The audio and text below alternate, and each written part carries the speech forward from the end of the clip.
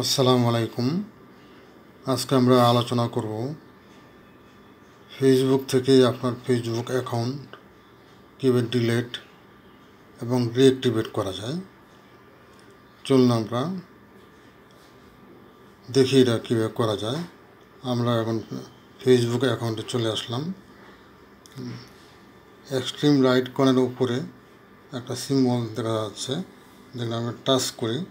এটা হলো মেসেঞ্জার দেখেন টাচ করলে কী অবস্থা হয়?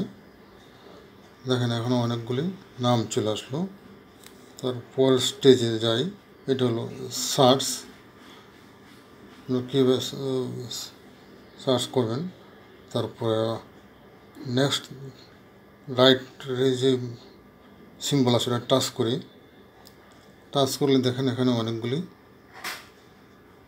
আইটেম আসছে, তার মধ্যে একটা আছে অ্যাকাউন্ট সেটিং আমরা অ্যাকাউন্ট সেটিং টাচ করি। দেখেন টাচ করলে এখানে অনেকগুলি আইটেম চলে আসছে। তো আমরা যাব নিচে থেকে যাই।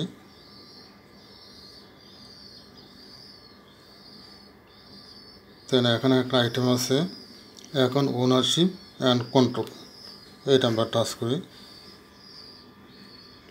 টাচ করলে দেখেন আমরা কী আসলো? এখানে আছে ডিএক্টিভেট অ্যান্ড ডিলেশন এটা আমরা টাচ করি। টাচ করলে দেখেন এখানে অনেকগুলি আইটেম চলে আসছে। তারপর লাস্টে আমরা নিচে আসি। Continue account deactivation continue account deactivation এটা আমরা টাচ করি। টাচ করলে দেখেন, এখানে আপনার পাসওয়ার্ড চাচ্ছে। এই পাসওয়ার্ড পাসওয়ার্ড লেখা আছে এখানে। আপনার পাসওয়ার্ড দিয়ে আপনাকে সামনের দিকে আগাইতে হবে। আপনি যদি ডিএক্টিভেট করতে চান, তাহলে ডিএক্টিভেট করতে পারেন।